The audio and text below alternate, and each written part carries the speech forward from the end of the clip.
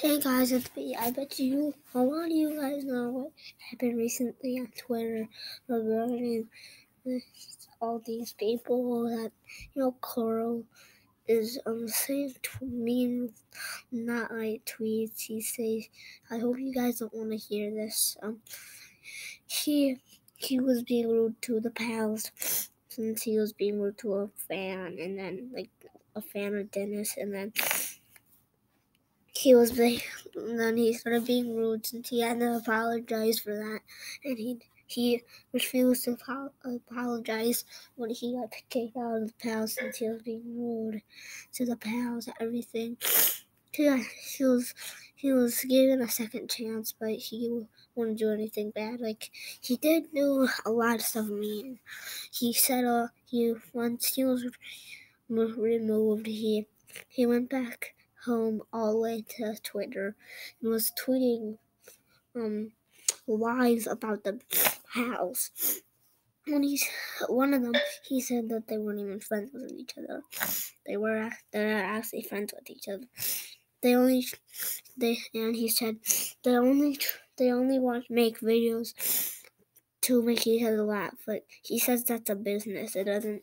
No one agrees with him. Yep. He sucks. Don't tell me. Don't. If Corl watch this video, I am gonna get so mad at him. He doesn't even know where I live, though. Yeah, probably doesn't.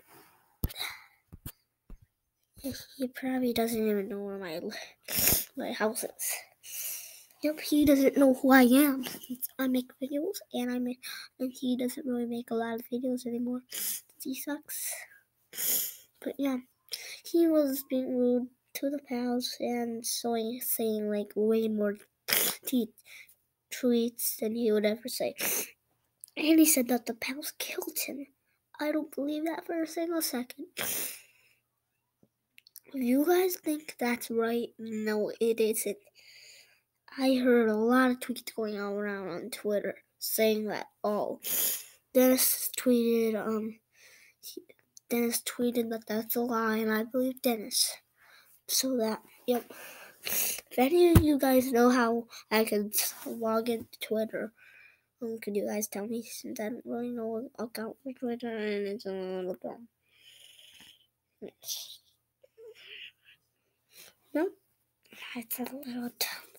But yeah, so I'll see you guys in the next one. Peace.